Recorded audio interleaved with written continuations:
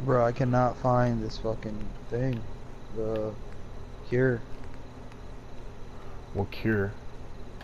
The cure for the FEV virus he was talking about. You know what? Why the fuck would they leave it in this office anyway? They probably have it locked up. It's gotta be. Okay, so, um, pretty simple shit. You're gonna go to power, you're gonna go to conduits.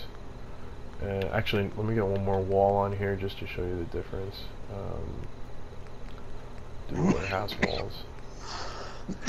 these walls are actually designed to work with the conduit. So, right now you can tell this is a regular shack wall, this is a concrete wall, and this is your um, your uh, warehouse walls.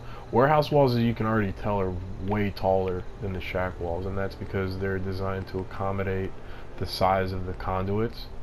So you go to power, or no, yeah, power, conduit, and now we're going to go to the wall pass through. There's a few of them.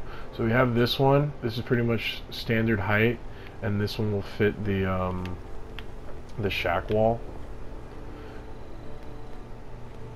Goes in there pretty nice. All you want to do is pass the nipple through, and then this part's going to bleed out on this side. So now,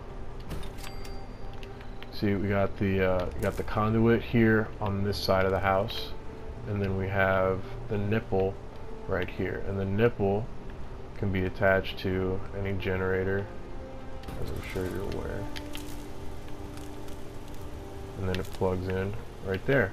Now, to power on the other side, what you can then do is go back to your conduits, and we have these overhang nipples. These are like, you know, little junctions, or you can do just one that comes out there.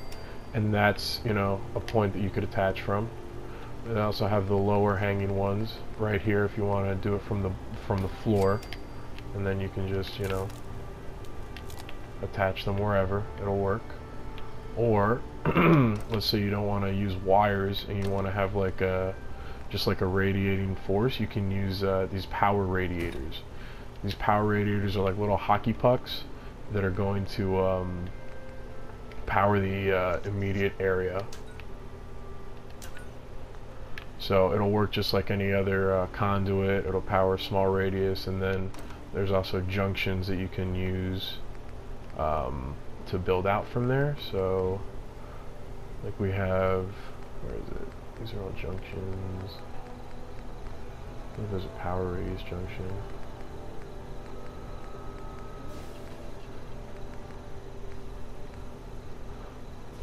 Hmm. I guess there is no junction like that, but basically what you would do from this point is uh, once you're in here, if you want to extend your reach, there's a variety of conduit sizes and shapes you can use to direct the path of where you want this to go.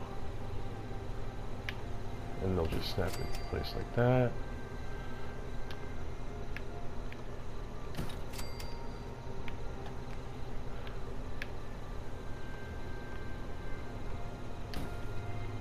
And there you go. That's how you do it. Anyway, guys, thanks for watching. Make sure to like, comment, and subscribe. Um, Martin Productions here for the win. See you in the next one. And cut. There we go.